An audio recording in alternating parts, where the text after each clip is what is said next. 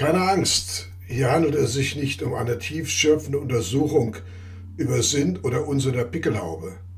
Hier geht es lediglich um die Frage, was 100 willkürlich ausgesuchte Menschen auf die Frage antworten würden, um welche Soldaten handelt es sich hier auf dem Bild? 95 würden wohl spontan antworten, Deutsche, Erster Weltkrieg. Und selbst wenn das Bild in Farbe präsentiert werden würde, blieben sicherlich viele bei ihrer Meinung. Aber bei diesen strammen Soldaten auf dem Haupt die Pickelhaube handelt es sich nicht um Soldaten des Potsdamer 1. Garderegiments zu Fuß, sondern um die Ehrengarde der Offizierschule von Bolivien. Und auch die folgenden Bilder zeigen Angehörige der bolivianischen Armee mit dem Symbol des deutschen Militärs aus der Mitte des 19. und des beginnenden 20. Jahrhunderts. Hier zum Beispiel die Ehrenformation des Staatspräsidenten. Aber woher stammt ursprünglich dieser imposante Kopfschutz für den Soldaten, den in einer Zeitspanne von 75 Jahren jeder deutsche Soldat tragen musste, wie hier diese Gruppe Gardefüsiliere in Berlin? Die Antwort überrascht. Aus Wuppertal-Elberfeld. Genauer gesagt stand seine Wiege in der Elberfelder Straße Neuenteich. Wo sich jetzt moderne Gebäude erstrecken, befand sich einst das Gelände der Elberfelder Metallwarenfabrikation. Ihr Eigentümer Wilhelm Jäger hatte 1840 die Idee für seinen metallenen Helm mit Spitze gehabt und im März 1841 dem Berliner Kriegsministerium vorgestellt. So ähnlich wie der, den später Otto von Bismarck als Kürassier trug. Allerdings erwies sich dieser Helm trotz aller sonstigen Vorteile für die Infanterie- und Artillerietruppen, immerhin die Masse der Armee, als zu schwer. Das wiederum rief Christian Harcourt auf den Plan, den Miteigentümer einer Fabrik in Haspe bei Hagen.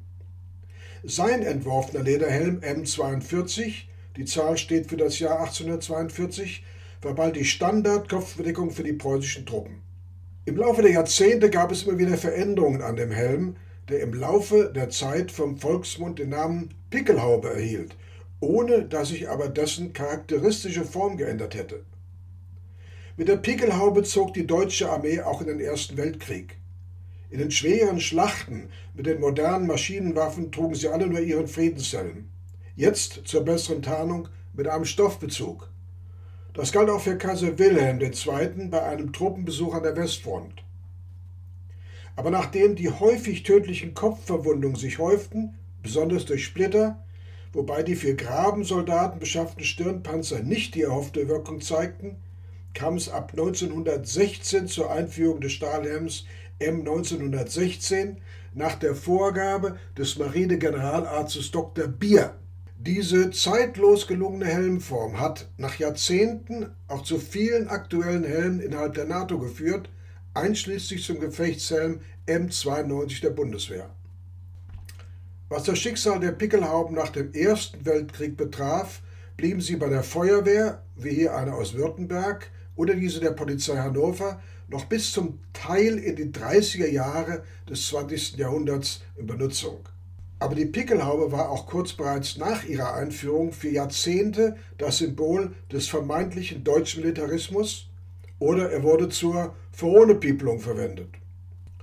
Und wenn es darum ging, preußische oder deutsche Machtpolitik zu zeigen, hatte der Protagonist immer eine Pickelhaube auf dem Kopf, wie eine Karikatur von 1849, dem Jahr nach der Märzrevolution in Deutschland, nach der viele, die sogenannten 48ers, also die 48er, aus Deutschland in die USA emigrierten. Ihren Höhepunkt bei der Verwendung der Pickelhaube als negatives Symbol hatte die gegnerische Propaganda während des Ersten Weltkrieges. Ob Serbien oder Russland, Belgien oder Frankreich, Großbritannien oder die USA. Nichts wurde ausgelassen und immer trug der Hunne eine Pickelhaube. Warum aber führt gerade die bildliche Verwendung der Pickelhaube bei vielen zur fast automatischen Identifizierung des bösen Deutschen? An dieser Art Kopfverdeckung kann es ja kaum liegen. Denn Pickelhauben gab und gibt es in allen Variationen. Nach meinen Recherchen in weiteren 22 Ländern dieser Erde. Darunter sind auch einige, denen man es aufgrund ihres starken Propaganda-Engagements nicht zugetraut hätte. Zunächst Argentinien. Nun Bolivien. Zunächst heute und damals 1950. Botswana, der Binnenstaat im südlichen Afrika. Die Polizei von Brasilien.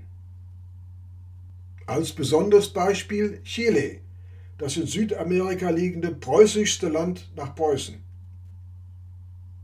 Die Kadetten von der Militärakademie El Salvador. Ecuador, das wiederum seine Pickelhaube dem starken Einfluss des chilenischen Militärs Anfang des 20. Jahrhunderts verdankt. Großbritannien, das sich besonders mit der Pickelhauben-Karikatur hervorgetan hatte, sie selbst aber nicht missen will.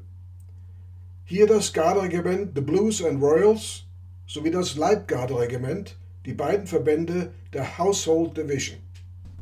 Honduras, Kolumbien, nun Mexiko, zunächst der Hauptmann, gefolgt vom General. Armeeinstrukteure im Jahr 1901 aus Nicaragua. Jetzt Paraguay. Peru. Der Pionier und ein Artillerieleutnant im Dienstanzug. Die Republikanische Nationalgarde Portugals. Russland.